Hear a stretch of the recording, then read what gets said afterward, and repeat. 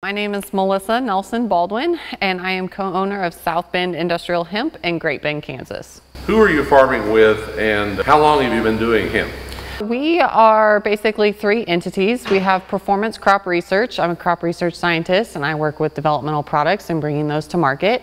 Uh, the two other co-owners of South Bend Industrial Hemp are Aaron and Richard Baldwin, my husband and brother-in-law, and they are fourth generation farmers with Circle K Farming Partnership.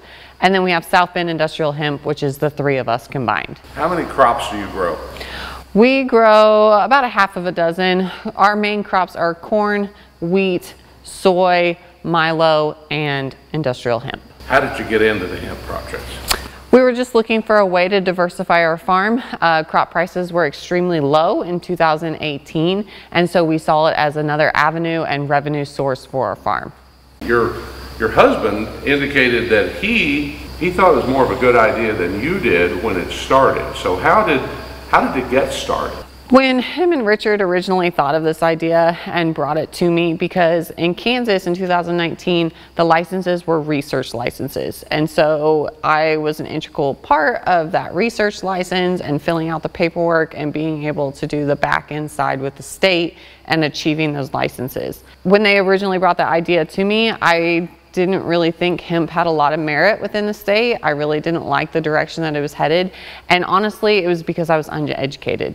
You know, I directly correlated hemp with marijuana. I did not realize the differences. So once I started educating myself, that is one of the reasons I'm very passionate about education, farm tours, and really just letting the public realize the potential of industrial hemp because I know I was misinformed.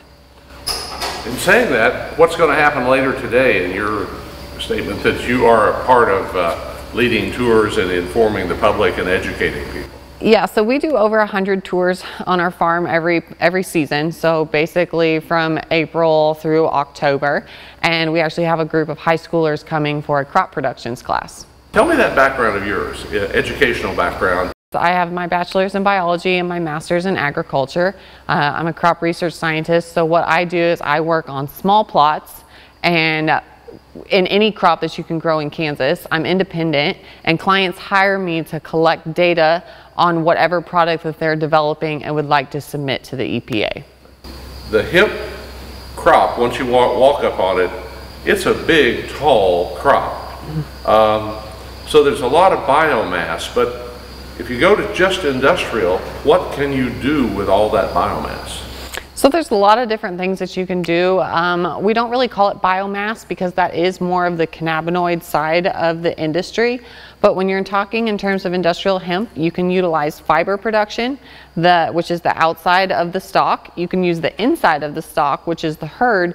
And then you can also utilize the grain, which are the seeds that are produced at the top of the plant have any questions, you know where to find us. South Bend Industrial Hemp on Facebook, South Bend Hemp on Instagram, or southbendindustrialhemp.com.